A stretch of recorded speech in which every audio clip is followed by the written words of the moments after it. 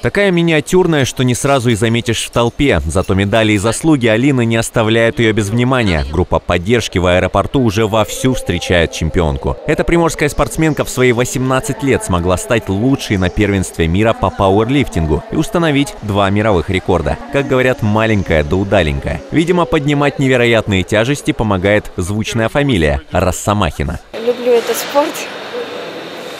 У нас э, не получилось сейчас э, собрать мастер спорта международного класса, и не все рекорды удалось снять. Так что у нас есть еще цели, к которым нужно стремиться.